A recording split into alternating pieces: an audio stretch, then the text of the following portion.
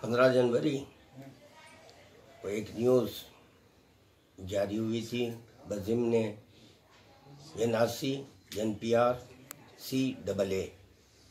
تو چنانچہ اس سلسلے میں میں نے کہا تھا کہ یہ جیسے ہمارے تلنگانہ وہ حلقے دبیر پورے میں بائی الیکشن ہو رہے ہیں اور نہ صرف یہاں پر بائی الیکشن ہے، بلکہ تلنگانہ میں بھی میونسپل الیکشن ہے تو اس سلسلے میں میں نے یہ بیان جاری کیا تھا کہ جو ووٹ رہے ہیں وہ سٹیزن ہیں، یا یہ کہ جو الیکشن میں ٹھہرے ہیں وہ سٹیزن ہیں۔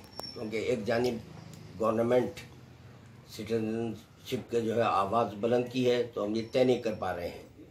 چنانچہ اس سلسلے میں جیسا کہ میں نے کہا تھا کہ chief electoral officer Telangana state اور سی ایم چندر شیکھر صاحب، تلنگانہ اسٹیٹ اور chief electoral officer, new Delhi, Modi ji کو میں نے درخواست دی تھی۔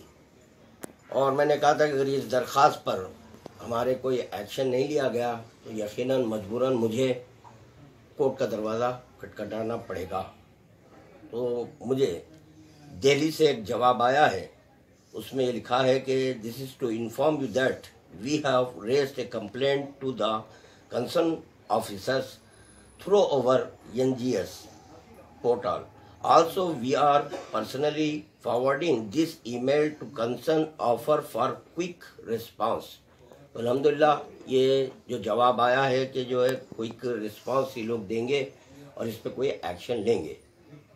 اس سلسلے میں میں نے اپنے سینئر لائر وہ تلنگانہ ہائی کورٹ کے ہیں، ان سے آج ہی میں نے ملاقات کی، ان سے بات کیا۔ تو ان کا یہ کہنا تھا، چونکہ الیکشن نوٹیفیکیشن جاری ہو چکا ہے، جب الیکشن نوٹیفیکیشن جاری ہو جاتا ہے تو قانون میں یہ کہا گیا ہے کہ آپ کسی قسم کا رٹ یا پل داخل نہیں کر سکتے۔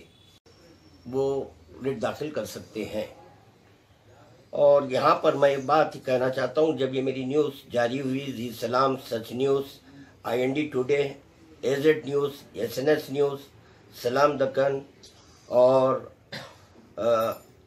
ایشین ٹی وی نیوز مینر واٹس اپ چینل اتنے چینل سے یہ نیوز آپ کے جب ٹیلی کاسٹ کی گئی، تو اس پر میں نے کمنٹ بھی پڑھے۔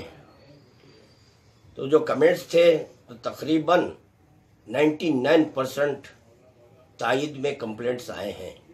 تو ہر ایک یہ کہہ رہا تھا کہ سوال بہت صحیح ہے۔ تو یہاں پر میں یہ کہنا چاہتا ہوں کہ جیسی ہی ہماری آواز بلند ہوئی، مختلف مقامات سے ہمیں اطلاع ملی، جیسے کہ ٹائمز آف انڈیا میں بھی ایک نیوز شائع ہو چکی ہے کہ وہاں کے ہائی کورٹ کا ایک ججمنٹ ہے کہ ووٹر آئی ڈی اور پاسپورٹ یہ سٹیزن ہیں۔ تو اب جو ووٹ ڈالیں گے ووٹر لسٹ میں جس کے نام آ چکے ہیں، وہ سٹیزن طے ہو چکے ہیں۔ اب اس پر کوئی سوال نہیں کیا جا سکتا۔ اس وقت میں یہ کہنا چاہتا ہوں کہ جب الیکشن ہے، تو ہمارا پروٹیسٹ کا ایک انداز بدلا ہوا ہونا چاہیے۔ وہ پروٹیسٹ اب ایسا نہیں کہ آپ روڈ پر نکل کے پروٹیسٹ کریں، بلکہ اب یہ پروٹیسٹ جس دن یہ پولنگ ہے پولنگ ہے ہنڈریڈ پرسینٹ لوگ نکل کر جو بھی اپنی جماعت کو ووٹ ڈالنا چاہتے ہیں، اس جماعت کو برابر ووٹ ڈالیں تاکہ یہ ثابت ہو جائے کہ ہم ہی سٹیزن ہیں۔ ہاں اگر یہ رزلٹ وغیرہ آؤٹ ہونے کے بعد این آر سی میں اگر ہمارے اس سٹیزن شپ کو قبول نہ کریں ووٹر آئی ڈی کو، تو انشاءاللہ تعالی یہ ہماری لڑائی جاری رہیں گی۔ ہم کورٹ کا دروازہ کھٹکھٹائیں گے۔ آلریڈی ہمارے پاس ایک ہائی کورٹ کا ججمنٹ بھی آ چکا ہے کہ ووٹر آئی ڈی اور پاسپورٹ، یہ سٹیزن ہیں تو بس یہاں مجھے اتنا ہی کہنا تھا کہ اب تمام آپ کے عوام سے میری یہ گزارش ہے کہ اس وقت ایک تاریخی پولنگ ہونا چاہیے، ہنڈریڈ پرسنٹ پولنگ کریے۔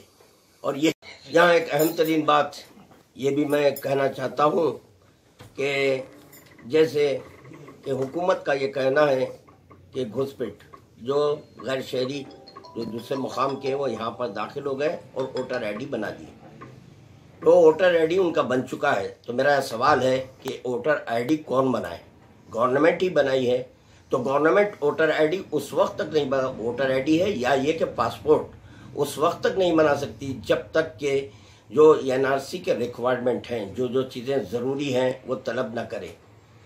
اب اگر کوئی ہم سے یہ کہہ رہا ہے کہ آپ یہاں کا سٹیزن نہیں ہیں تو دعویٰ ڈالنے والی گورنمنٹ ہے، تو گورنمنٹ کا فریضہ بنتا ہے کہ وہ پروف کرے کہ ہم سٹیزن نہیں ہیں۔